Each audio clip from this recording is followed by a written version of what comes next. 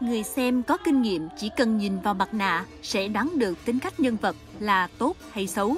Màu sắc chủ đạo của mặt nạ tuồng là hai màu đen trắng cùng một số màu phụ như đỏ, xanh, xám.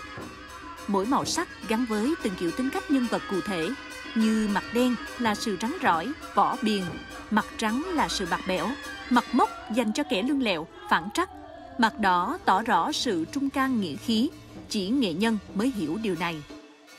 Tôi ờ, đi theo nghề được ờ, 40 năm, bốn mấy năm rồi. Mà lúc đó thì ờ, cha tôi đánh trống, tôi cũng theo nhỏ lúc đó mười mấy tuổi là theo sáng bạc. Rồi có bén như cái mình ra sân khấu mình hát luôn. Rồi cái ông tơ ông lãnh 100 cái mặt của đoàn hát bộ. Cái ông trăm cái mà ông vẽ được bên nửa bên. Cái tuần nửa bên kêu tôi lên ông vẽ. Vẽ nửa bên nữa.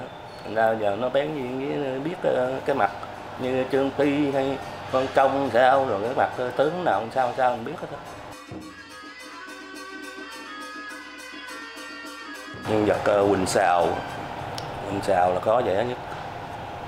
Tại mấy cái ti tiết nó nhỏ nhỏ nó có hai bắt quái rồi cái giữa rồi hai cái mình không thầu hoàng kim thì hát show á, chạy một chỗ ba ông lần.